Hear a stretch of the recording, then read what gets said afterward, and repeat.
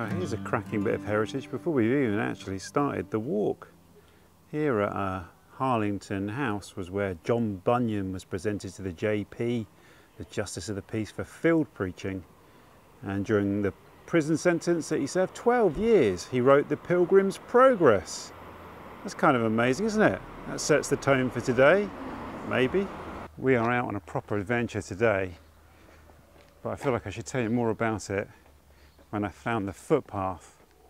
Just walking through the village of uh, Harlington here in Bedfordshire, and we're to go to a couple of amazing locations. Okay, this is so look. This is like says the Grand Hall opposite Carpenter's Home. The first English Grand National Steeplechase took place in 1830. Over there, it's littered with history. This is our footpath here. Right, an adventure awaits.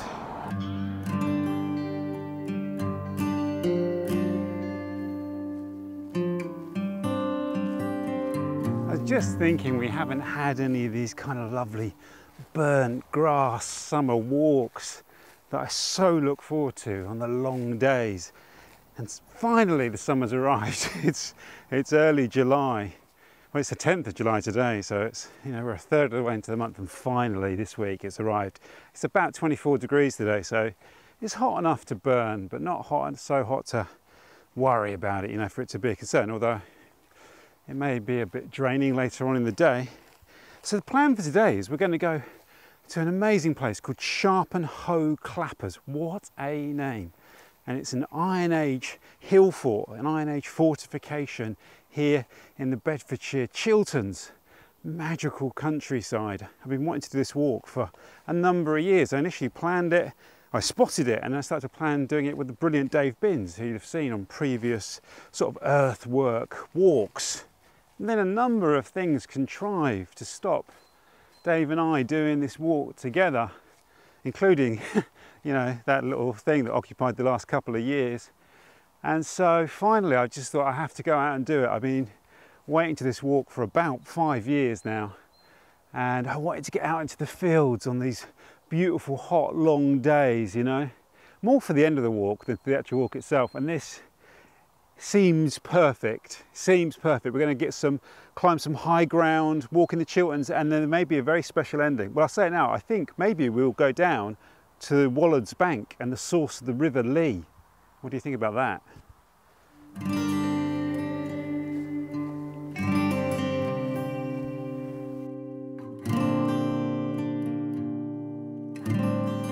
Today's walk will require a fair amount of map work, which as regular viewers of these videos will know, isn't exactly my strong point. So, you know, there's no guarantees really where we'll end up. But we'll, I think we're in for an adventure, whatever happens.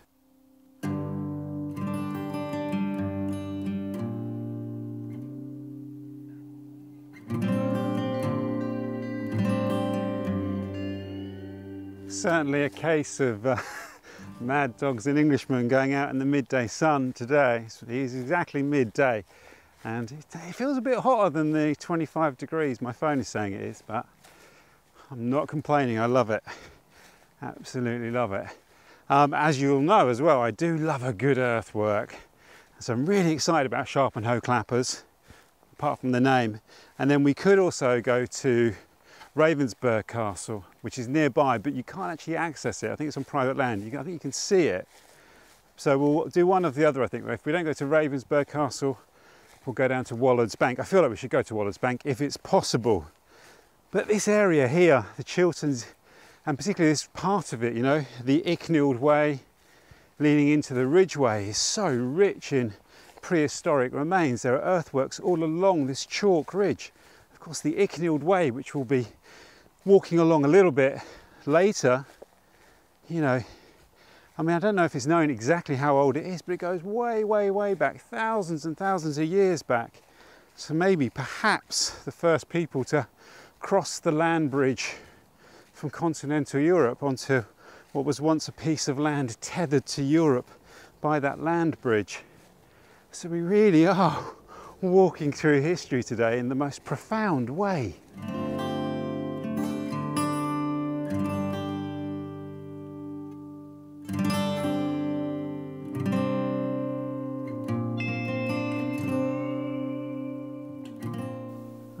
This is the start of the, uh, the ridge of land that we're going to walk along today, the spur. I think we have to climb some quite high hills at some point. There's something vaguely Tuscan about this landscape, isn't there?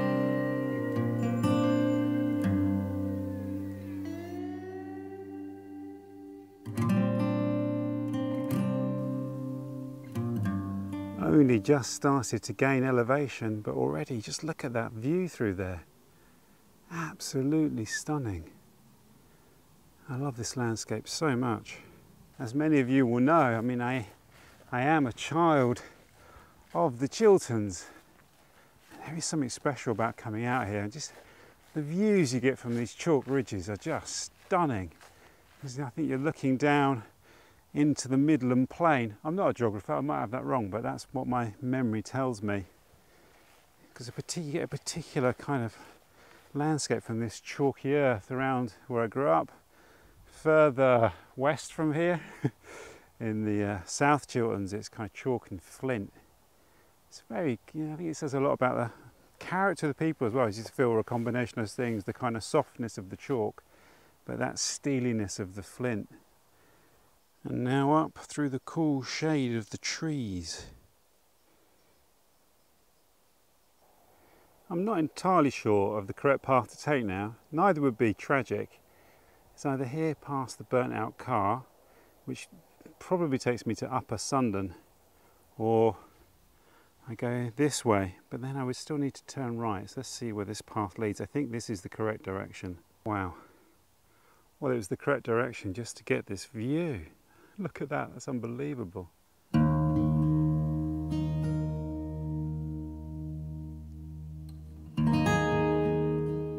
Just checking the map, I realised that actually we're not that far away from um, Maiden Bower, which is a similar type of earthwork, which is the last time I think I did a video with Dave Binns. I think that was 2017, I might be wrong. So it kind of continues the mapping out of the prehistory. Is that prehistory? I don't know. Or the ancient history of this area on the kind of Bedfordshire, Hertfordshire border. Great to see these two way markers, the Icknield Way Trail and the Chiltern Way, which is the way that I need to go to Sharpenhoe Clappers. And it's just as well that I saw them there because I would have carried, I would have gone the wrong way. I'd have gone that way.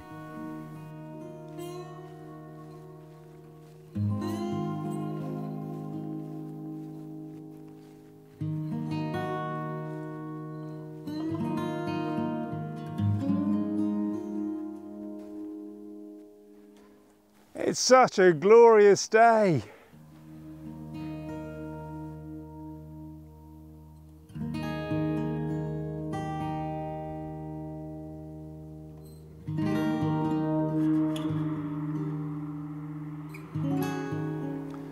I've only been going an hour and already it's absolutely stunning, isn't it? Unbelievable. Just trying to think the last time I was out on the Icknield Way and it very well may have been when I went to Pitstone Hill, which I think is back in 2016. Wonderful walk there. That day, obviously that's where the Icknield Way and the Ridgeway intersect. I will put all of these videos in the, uh, in the video description below. And I'm wondering if that big promontory there that we can see jutting out is Sharpenhoe Clappers. It very well may be, and it looks like it's in the right position.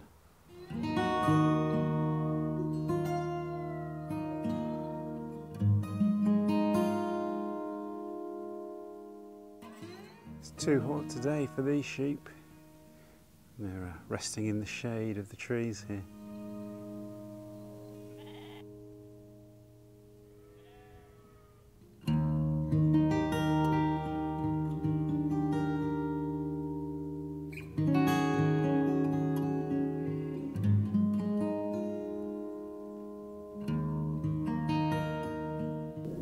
So this is that point where I feel like I've read the map correctly. It's telling me to go a different way to my instincts. Then again, my instincts are usually really off kilter, aren't they? But this is where the walk could go a little bit pear-shaped.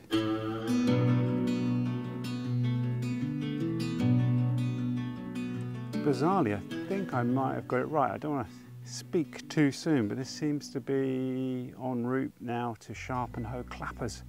The excitement is building. It's almost impossible to be walking in a rural English summer landscape like this one and not think of that wonderful TV show Detectorists. I know I mention it a lot, but why not? I love it. And particularly with the theme of history on this walk as well.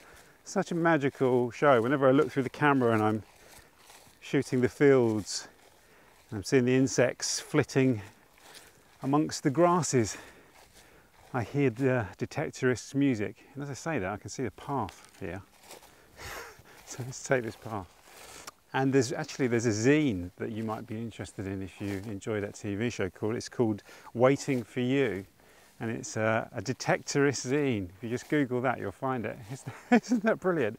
I love things like that, and it's you know a physical thing that you buy and they post it to you. Brilliant. We're now on the Bunyan Trail which is really how we kicked off the day today, wasn't it? Back there at the site of his trial.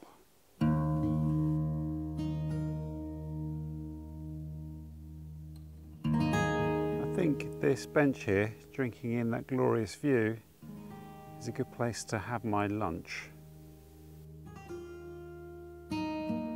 Well, that was a great lunch stop. Fantastic view, look. And now just uh, not far to Sharpenhoe Clappers, hopefully. Anyway, I've been walking for just over two hours, five miles. It's good, it's just about quarter past two. So uh, I don't tend to stop for too long uh, when I'm doing a longish walk because otherwise, I don't know, you lose momentum really. Momentum's really important when you're doing a long walk, I think. Um, so, and I do like the idea now of going down to Waulud's Bank and I haven't really worked out the distance there. I think there's a number of routes I can take, so there's a lot of number of options. But um, yeah, so it'll be a, you know, it's going to be a significant distance today.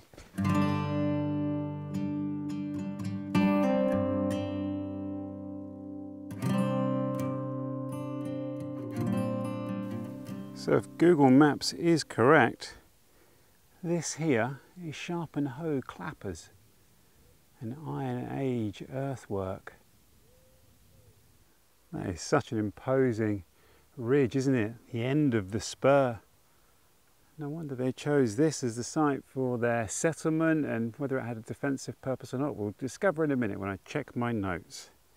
So Sharpenhoe Clappers is what they call a promontory hill fort and its defensive strength comes from its topographical location rather than anything that was built or constructed or any kind of earth moving as such. And you can see it's pretty obvious, can't you? Just how dominant it is within the landscape. And it also notes as well that, that would have conferred a certain status upon its inhabitants because they'd have been visible for miles and miles around. I mean, we've seen that even today. As soon as we left Harlington Station, we could see this ridge here that we were heading for. You'd have, you wouldn't have messed with the people of Sharpenhoe Clappers. They have um, done some excavations and they found some timber, um, timber work that would have been around, sort of timber palisades, I guess, and there was a, a trench that was cut across that was lined with timber and there were trenches around that to defend it as well. So it had been a really significant location. I think there's also evidence of um, Roman use of the site.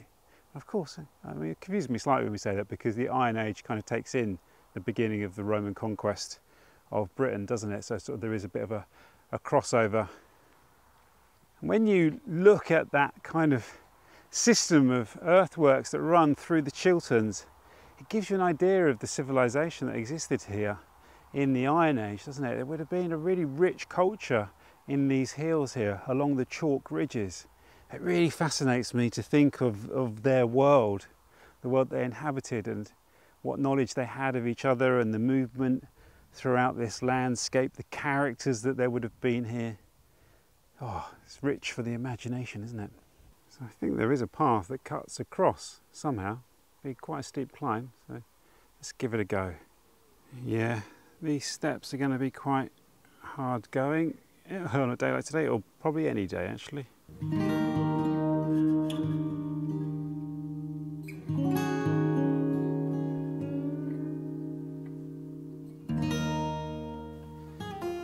This is really hard work, and that's without anyone actually defending it at the top, throwing spears and boulders and stuff at me. So here is the summit. This is where there would have been the settlement up here at the end of the uh, spur. Amazing.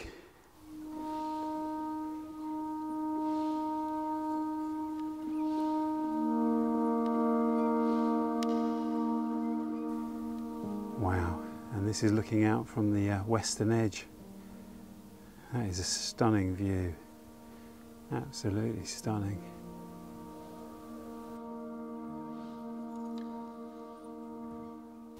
Looking back into the centre of the settlement here, at the end of the spur, right on this promontory. You can see why they chose it, can't you?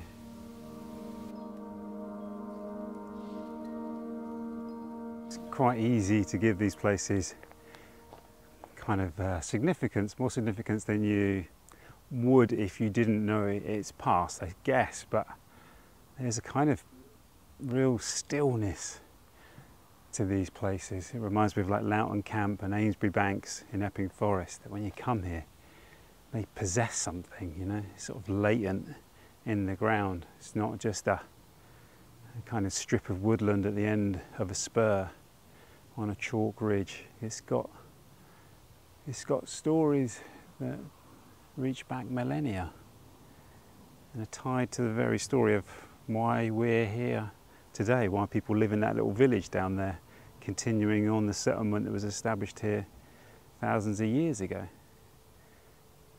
It's amazing. Right, let's now walk to Waulud's Bank, the source of the River Lea. It feels like the perfect place to end this walk now, doesn't it? Oh, this is an interesting moment. Here's an obelisk in the middle of the wood on Sharpenhoe Clappers. Maybe where I was before wasn't the actual centre of the settlement. Let's go and see what it says. This is interesting actually because it says uh, Sharpenhoe Clappers was bequeathed to the National Trust by W.A. Robertson in memory of his brothers Norman Cairns Robertson and Captain the 2nd Battalion of the Hampshire Regiment who died on the 20th of June 1917 at Hanover in Germany and of Lawrence Grant Robertson, 2nd Lieutenant, 2nd Battalion, King's Own Scottish Borderers who was killed in action in France during the Battle of the Somme, or near Delville Wood, in July 1916. Um, that was my grandfather's regiment, the King's Own Scottish Borderers, my paternal grandfather, my dad's dad, who thankfully didn't die during the First World War. It's interesting. This looks like it could be uh, the outer bank of an earthwork. This would be the uh, southern side of, of the kind of fortification, if that is what it is and not just a natural feature. Yet more glorious views. I think that's looking northeast towards uh, Ravensburgh Castle. We, uh, we won't be going there today. We could go there another day though. And here's looking south.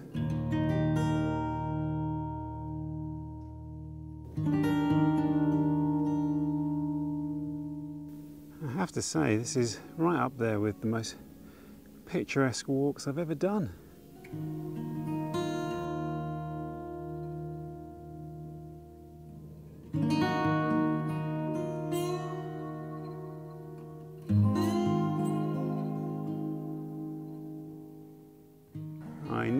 Went in the wrong direction that would have taken me away from Waulud's Bank and Leagrave and all that.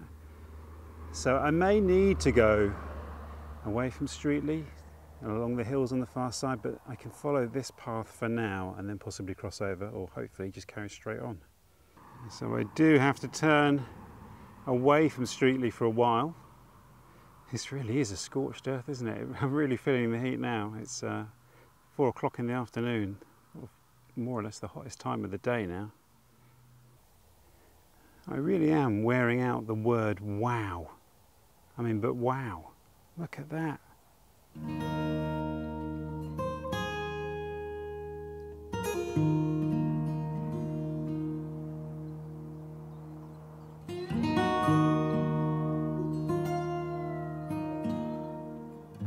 I think Streatley's just up here, or certainly I hope.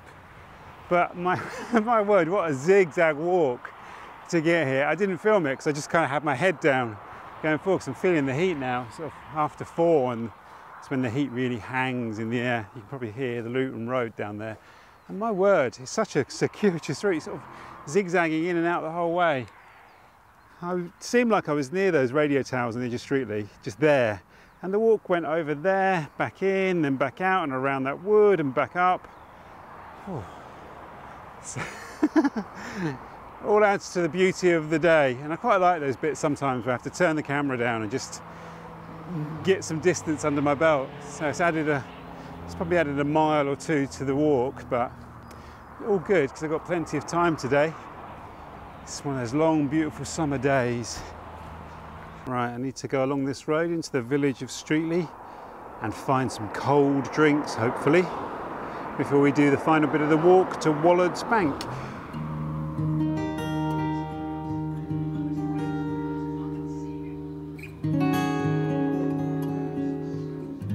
Well, that was an incredibly pleasant repose for about an hour. Sunk a couple of pints of San Miguel, lovely cold beer uh, and now I'm going to crack on.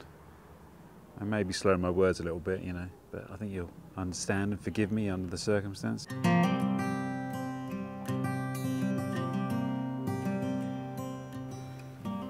Wow, Streatley Church looks like it's a church of some heritage. I will look that up when I get to the uh, to the edit and put the date on the screen. I don't want to break the rhythm of the walk. This is a delightful spot. Often when I go on my walks, I walk past a, a, country pub. I'm doing a long walk and people say, I wish you could have gone in that pub and shown us that pub. You should have gone in there. And I say, no, I never like to break my walk because if I go in the pub and have a couple of pints, I'll never get going again. But today it's been so hot and my water in my bottle has been like heating to almost like tea temperature as I've been going. And so uh, once I realised there was no shop in Streatley, I thought that is the only place I'm going to get a cold drink. So uh, I filled up basically, had a couple of pints of nice cold beer, and they very kindly filled my water bottle. So we're ready for the way ahead. I'm not going to make a habit of that. You can see there's exceptional circumstances, 10 miles on a very hot day, hmm, five, at least five, six miles to go. Now we're moving into a cooler part of the day. It's half past five, quarter to six. The Wimbledon finals finished. Waulud's Bank awaits. Theoretically, this is now a very sort of straightforward, more or less straight path down to the source of the River Lea. Could you get a better ending to a walk than that? I'm not entirely sure you could.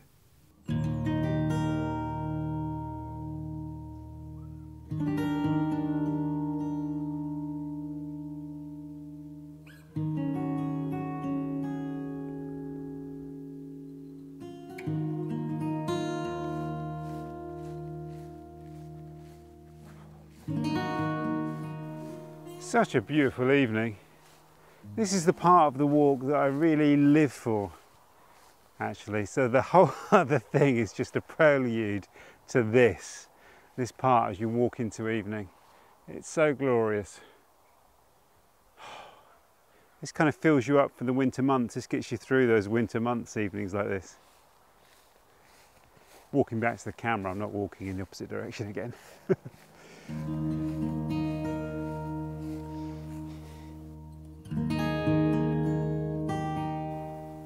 All praise the pylons. That is actually a t-shirt you can get from my merch store, which is below the videos. That isn't why I said it. I really love these pylons, I think. Just real kind of titans striding across the landscape, aren't they?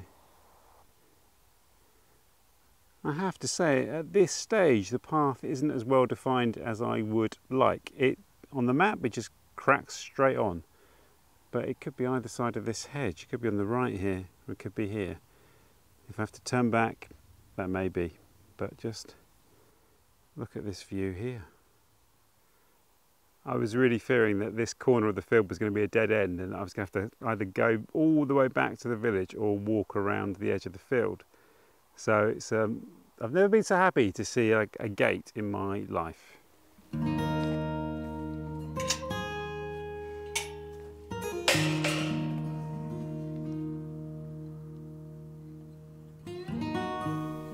Into a cool, dark wood. Not Mirkwood. It's got a very benign feel to it. But you never know, I guess. So it looks as though we might be hitting the uh, edge of Luton sooner than I thought. I think this is uh, Bramingham on the other side of this field here. And then we uh, skirt around the edge of Leagrave to Waulud's Bank. One of the best things about summer walks is walking through a field like this. I think this is barley, isn't it? I'm sure someone will correct me if I'm wrong. This is what uh, this is what summer walks are all about, walking through fields of crops like this on a footpath. I'm not going rogue. It's great. So many of my uh, field path walks are in the winter when you're ploughing through mud. so things like this are delightful. Nice contrast. You need a bit of yin and yang, don't you?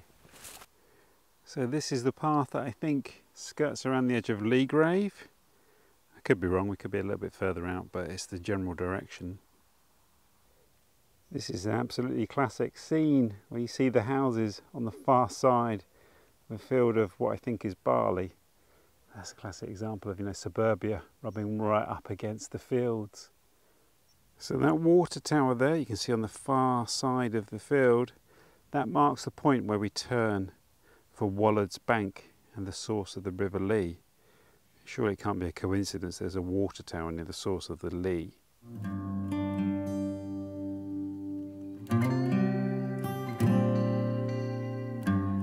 Here's the water tower. So presumably Waulud's Bank is nearby.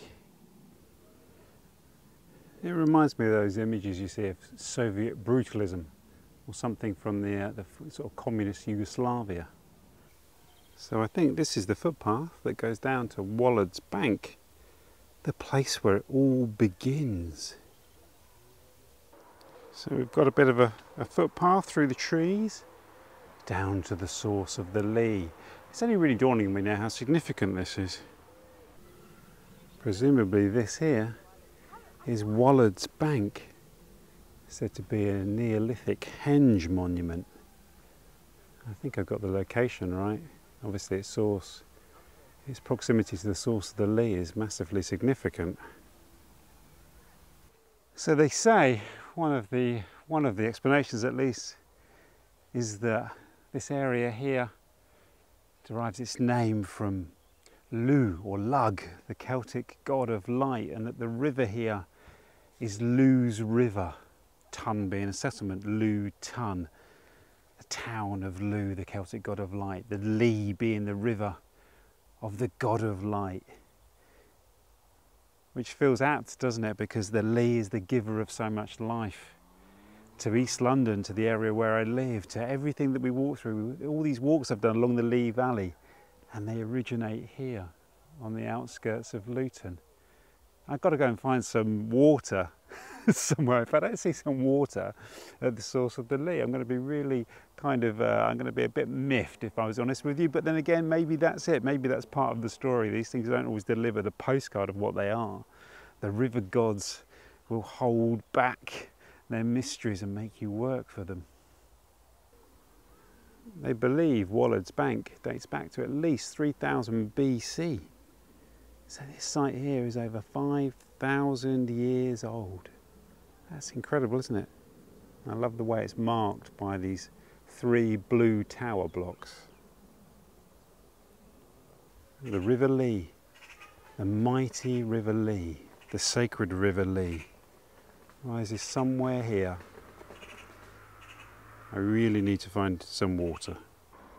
Well, this here may very well be the source of the River Lea, but there's not a drop of water down at the moment, is there? I think this area is known as Five Springs. It's a bit of marshy land here on the edge of Waulud's Bank where the Lea is said to rise. Maybe I've got it wrong. There's nothing there at all, is there?